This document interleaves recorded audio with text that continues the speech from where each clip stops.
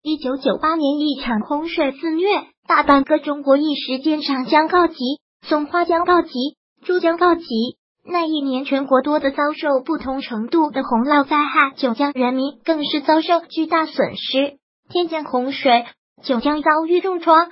当年，全国亿万人民团结的像一个人，融入血脉，化为精神的永恒记忆。我们都应该记得吧？众志成城，人民团结如一人。一九九八年八月七日，九江市长江大堤决口，滔滔洪水滚滚而下。转瞬间，美丽的九江重变一片汪洋，撼目惊心。于奔赴抗洪一线的将士而言，那是一场惊心动魄、生死攸关的恶战。他们风华正茂，至死如归。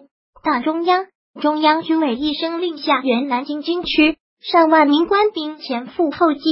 开赴九江灾区，中央军委命令时任南京军区副司令员董万瑞将军担任九江抗洪抢险总指挥，统一协调陆海空三军和武警官兵与红魔搏斗，勇敢逆行，绝不后退。十八九岁的少年瞬间长成了铮铮铁汉，用自己年轻稚嫩的臂膀为人民筑起了一道道钢筋铁墙。封堵九江决口的战斗打响后，原南京军区八三零。二零部队四连三排长吴小磊受领任务时，据理力争，非要把这件剧最危险的任务揽到手不可。面庞黝黑，眼神坚定，在摇摇欲坠的大堤旁，他们挽手并肩，跳入汹涌的洪水中，化作了比岩石还坚硬的绿色长城。有管用的地方，有裂纹的地方，就有橄榄绿的身影。哪里危险，哪里需要，哪里就有鲜红的军旗飘扬。是与大地共存亡的呐喊，至今还在耳边回荡。饿了就啃几个馒头，扒一口饭；渴了就喝一口水；困了就地便是床。身心都经历着严酷的考验，考验重重，不言苦累。连日的奋战战士已极度疲惫，但体力耗尽的他们吸几口氧化一点水起来后，继续战斗。历史铭刻这感人的一瞬，祖国在你我心中。倒下的身体，倒不下的是战胜红魔的信念和为人民服务的宗旨。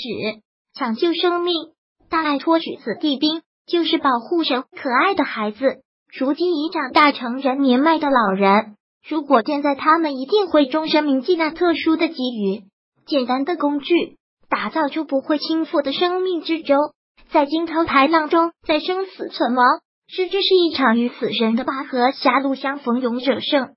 今日难以看出当时的凶险，实则为一场特殊的较量。九江人民泪千万，送别亲人，解放军惊心动魄数昼夜，换取平安慰苍生，恋恋不舍，挥泪告别。历经千辛万苦，数日奋战不息。一九九八年八月十三日晚，长江大堤九江断绝口封堵成功，只是成功背后的凶险与坚守远远超乎我们想象。那一年。威武之师，文明之师，用青春热血彰显了全心全意为人民服务的宗旨，用忠诚无畏谱写了一曲曲可歌可泣的抗洪战歌。那一天，成功封堵决口，热烈欢呼。他临危不惧，临危受命，他爱兵如子，眼含热泪。那位亲自送战的将军，依然留存于人们的心里，至今，将军的泪依然会戳中亿万人的心。那一年。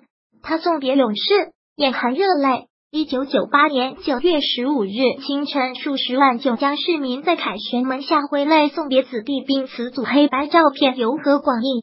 金义良、姚定范、王协云、刘水、周逢社经历过这万千送别的场景，此生从军再无遗憾，永远铭记二十四的抗洪精神，万众一心，众志成城，不怕困难，顽强拼搏，坚韧不拔。敢于胜利，他指一挥，二十年九江浔阳西路的抗洪纪念碑，巍峨屹立时刻鼓舞着我们，不忘初心，继续前进。抗洪精神穿越时空，历久弥新。二十年后回望历史，眼眶湿润，激情依旧。召之即来，来之能战，战之必胜。英雄的中国人民解放军不忘初心，继续前进。你若记得，他便无悔。来源：人民前线。